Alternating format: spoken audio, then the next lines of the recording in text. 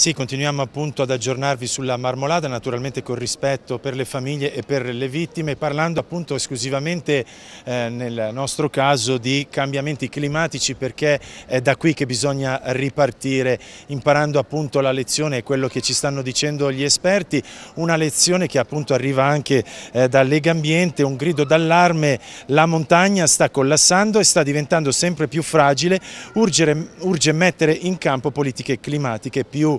ambiziose e ci commenta appunto questa richiesta, questo grido d'allarme con me il presidente di Lega Ambiente Veneto Luigi Lazzaro. Presidente, serve appunto cambiare, eh, serve imparare, serve non commettere più gli errori che abbiamo purtroppo commesso in questi giorni e anche in passato. Com'è la situazione dei nostri ghiacciai e quali sono appunto queste politiche ambiziose che dobbiamo mettere in pratica? A lei. Beh, grazie buongiorno a tutti. Ma intanto mi, mi, aggiungo a un pensiero per i parenti delle vittime di questa tragedia eh, immane. Eh, per quanto riguarda lo stato dei ghiacciai, purtroppo eh, sono qualche anno che Legambiente con una campagna specifica Carovana dei Ghiacciai lancia un urlo al posto, eh, al posto loro per raccontare al paese come questi siano eh, in ritiro. Praticamente tutti i ghiacciai, i nostri ghiacciai sono in ritiro, nell'ultimo anno hanno subito dei ritiri importanti. Se guardiamo a quello della Marmolada possiamo dire che dal 1900, da quando sono iniziati i primi del Novecento le indagini su, diciamo, su, per, per, capire come si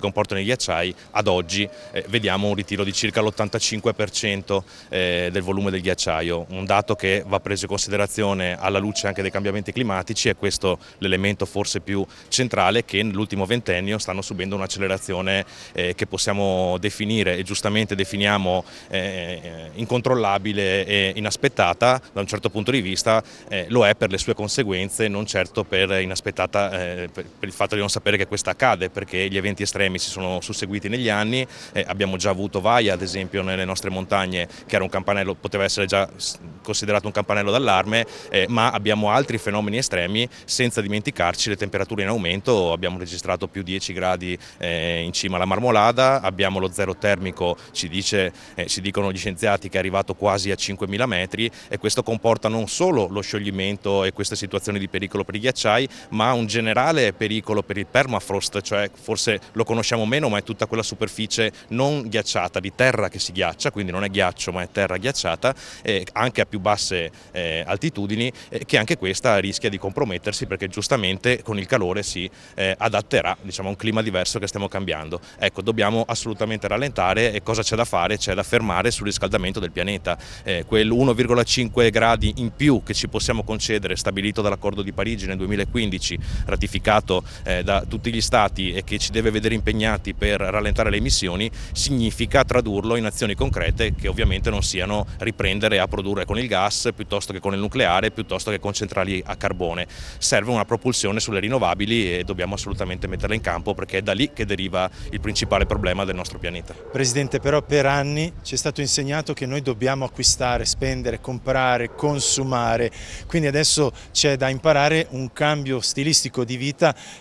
completamente all'opposto, completamente insomma drasticamente diverso dal passato. Siamo in grado di uscire dalla nostra comfort zone, cioè di non avere l'aria condizionata H24 accesa nei nostri negozi, nei nostri palazzi, nelle nostre case. Siamo in grado di tornare a camminare, a pedalare semplicemente con una bicicletta al posto di utilizzare sempre la macchina anche per fare 100 metri e così via. Tutto quello che stiamo insomma eh, combinando combinando eh, a danno della salute del nostro pianeta?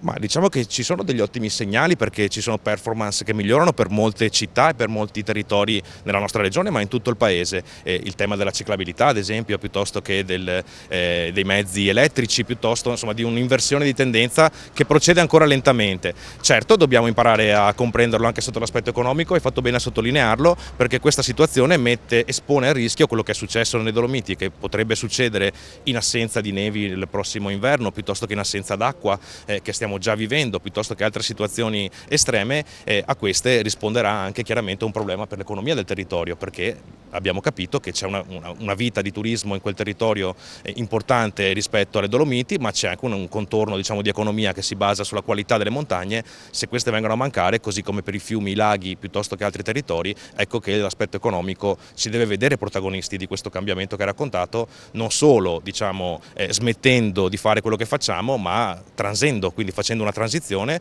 usando le energie rinnovabili, installando impianti fotovoltaici, installando impianti di energie rinnovabili il più possibile per raggiungere quegli obiettivi già stabiliti non solo dall'Europa ma anche dal nostro Paese con un piano energia. Presidente però le voglio chiedere una cosa, si parla di appunto transizione per quanto riguarda ad esempio le autovetture con l'elettrico, lei ha parlato di fotovoltaico ma sappiamo benissimo che le batterie vengono prodotte innanzitutto in un paese che al momento sembra se ne freghi di inquinare o non inquinare il pianeta, sto parlando della Cina. E soprattutto non si capisce come eh, poi sostituire e dove smaltire le batterie esauste e comunque hanno un costo di produzione anche in ambito di natura perché hanno all'interno dei materiali che eh, vengono estratti a caro prezzo eh, in paesi magari, eh, passatemi il termine, con uno sviluppo insomma un po' meno eh, rispetto ai nostri insomma, standard. E le voglio anche chiedere, eh, sì, eh, ma questo fotovoltaico, anche questo fotovoltaico appunto ha eh, dei costi, soprattutto in ambito di natura e di produzione e eh, di consumo anche de, del suolo, c'è stato insomma, un cambio per quanto riguarda l'impianto eh, in passato sul terreno de, del fotovoltaico, però c'è sempre un consumo Beh, devo dire che in questo caso la scienza ci viene in aiuto, siamo a Padova di fronte all'Università, al Bo, eh, ed, è, ed, è, qui e in altri istituti di ricerca che andiamo a cercare le risposte. Eh, in questo caso la risposta è che noi abbiamo la necessità di produrre eh, energia da fonti rinnovabili perché l'impatto, la scienza ci dimostra, è molto più inferiore sia per l'estrazione dei, dei, prodotti, sia per l'effettiva possibilità di riciclare, sia per le emissioni in atmosfera che sono l'elemento centrale che dobbiamo eh, tenere sotto controllo e la tecnologia e la ricerca oggi ci viene in aiuto. Eh, quindi anche sotto l'aspetto del riciclo dei pannelli fotovoltaici e di tutte le componentistiche abbiamo molte più opportunità di quante non ci fossero nel passato. C'è da dire poi purtroppo che riguardo alla produzione questo è un paese che ha abbandonato non solo nel settore della produzione energetica, eh, quindi di eh, pale fotovoltaiche, ehm, eoliche, piuttosto che pannelli, piuttosto che, eh, che, che, altri prodotti come le batterie, ma ha abbandonato anche alcuni aspetti della produzione alimentare di cui ci approvvigioniamo dall'estero, piuttosto che